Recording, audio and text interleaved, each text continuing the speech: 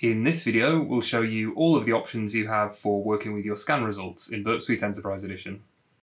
Regardless of where you are, you can always select Scans from the top navigation menu to view a list of all of the scans that are currently scheduled, running, completed, or even that have failed in your system. You can then drill down into a particular scan to see more detailed information about it. The kind of information that you'll see here really depends on the scan's status. For example, if you click on a scan that's scheduled but hasn't actually started yet, you can just view and edit some basic details, such as which scan configurations will be applied and when the scan will run. For recurring scans, you can also see a list of any previous occurrences of this scan. But you'll mostly be interested in looking at scans that have already finished so you can start working with the results.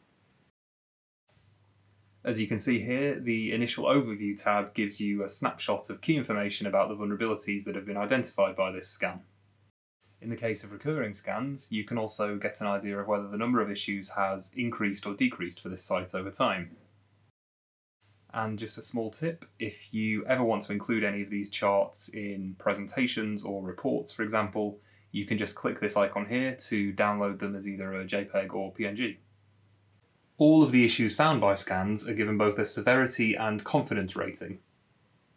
High severity issues are any vulnerabilities that generally pose a greater security risk.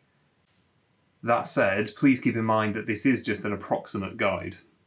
The impact of a particular issue can vary quite a lot between different websites and may depend on the type of functionality in which it occurs, so you should always take into account your own knowledge of the application and functionality when trying to determine the severity of an issue that's been found.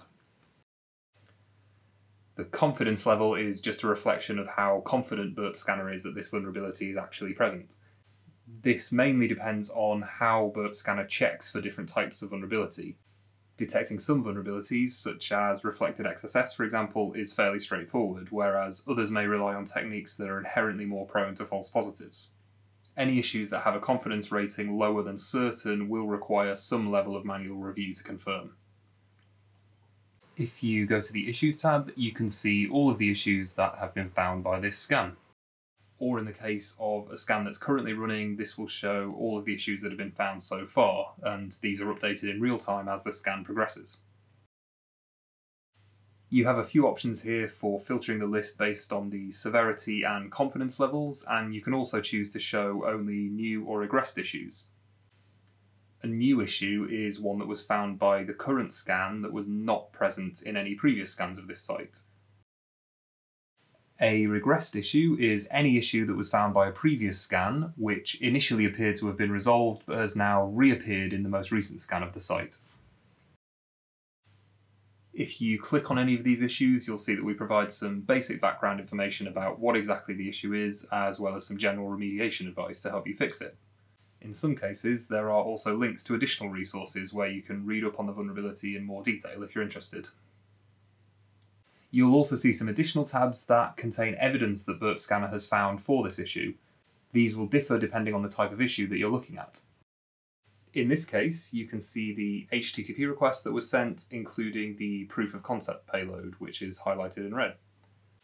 This is then followed by the response, which shows the same payload being reflected after closer inspection, you might decide that a particular issue is in fact a false positive, and you can mark it as such by clicking this button here.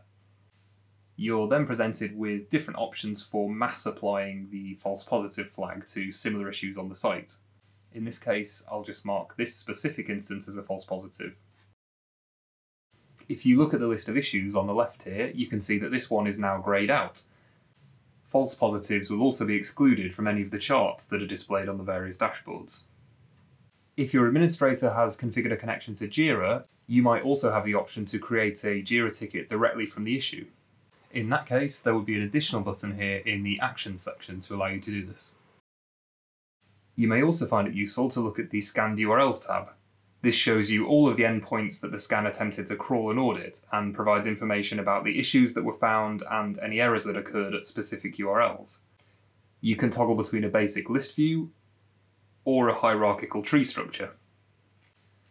Both the Scan and Site Details tabs should be fairly self-explanatory. One thing to point out is that the Site Details tab shows the site's configuration at the time of the scan, which might not be the same as the site's current configuration. On the Reporting and Logs tab, you can generate different types of scan report in HTML format. This is especially useful for sharing the results of your scans with colleagues or other stakeholders who might not necessarily have access to Burp Suite Enterprise Edition themselves. If you find that a scan keeps running into problems, it can be helpful to download the scan event log. This might shed some light on why the scan's failing, or at least tell you which phase of the scan is unable to run. Finally, you've got the option to download the scan debug log. This won't be of much use to you directly, but if you ever need to raise a ticket with our support team, they might ask you to provide this. It contains some basic information that we can use to help you with your problem more efficiently. And just to wrap up, I just want to show you that if you drill into a particular site once you've run a few scans on it, you'll notice that some of the tabs that were previously empty are now populated with some useful data.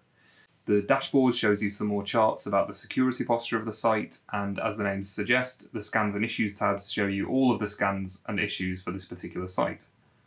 If you've created any folders, you can also select these to see aggregated data about all of the sites within that folder.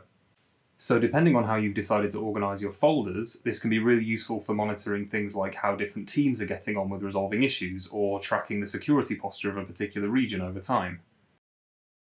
So that's everything you need to know to get started working with scan results in Burp Suite Enterprise Edition.